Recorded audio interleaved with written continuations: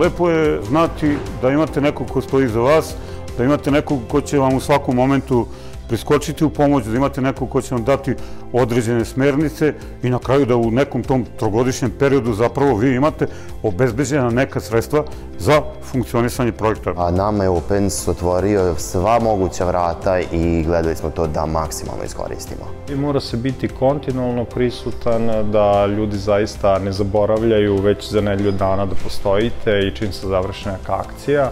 Mislim da smo nakon ovog trogodišnjeg perioda izašli kao jedna mnogo ozbiljnija organizacija sa jačim pre svega ljudskim kapacitetima, sa mnogim sjajnim partnerima koje smo stekli radeći tokom ovog projekta i mnogim ljudima i saradnicima koje smo, koje smo upoznali.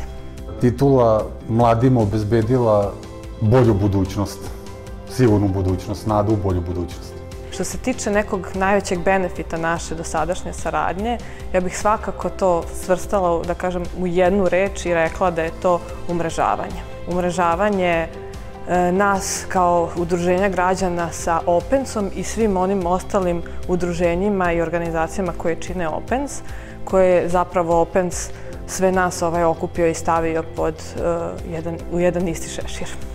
Dakle, mislim da su društvene mreže izuzetno uticane kao neki, neka alternativa mainstream medijima i mi kao omladinski radnici i omladinske organizacije treba da se ozbiljno pozabavimo načinima kako da uđemo u konstruktivni neki, da tako kažemo, dijalog sa mladima koji se obraćaju mladima. Dakle, taj neki srednji nivo je dosta važan.